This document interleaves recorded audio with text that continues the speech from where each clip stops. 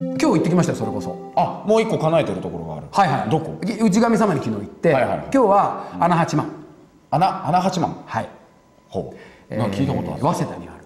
早稲田？はい。ほこれは金運というかもうお金う。のところ。のところでして。あそうなんですか。そう。これがねあら。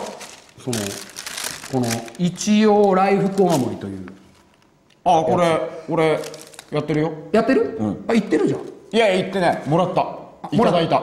あ今年ですか？それともまあずっときょ、えー去年だね。もらった。これはあれでしょ？だから元旦もありだしそうですそうです。あの三日間えー、2月3日もありだし、えーとあとどこだっけ？えっとねえっとね冬至の日。冬至の日か、はい。この3日間。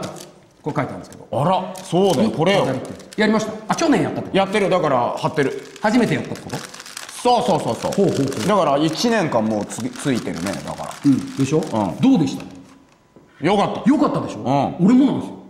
ああえやってたの？そう。あそうなんだ。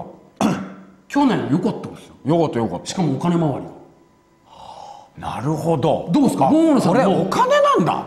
結果が目に見えてどうですあーなかるほど。うん確かに。分かったでしょ？やらしい話だよ2人して。お金回いりよかったやでもそれをこれ実践したっていう話ってすごくまあまあ確かに確かに。でこれああそういうことか。俺は誰から聞いたかって、はい。ピスタチオの小沢うん。が話してて、ここ行くんですよって話してて「あいいの?」って聞いたら「あのよかったんですよ、これ行った時に、年に CM 入って、よかったんで、今年も行こうと思ってますっていうのが何年前かに聞いて、あそうなんだっていうのがぼんやりあって、で行って、でもらってきて。はいはいはやったんですよ。いなるほど。毎年違うもんねあの方角が。そうそう方角違うし。上につけるんですけど。だからちょっとみんなもしよかったらあのそうだね。うん行ったらいいんじゃないかなっていう。でもこれは知る人ぞ知るなんだよねそうそう、でも有名は有名有名全然知ってるよっていう人いるかもしれない。そうだ穴八幡だ。そうだ。そうそうそう。だからこれはねそう。だそこの名前がそうだったそうなのそうなの。これいいみたいですよ。うんうんうん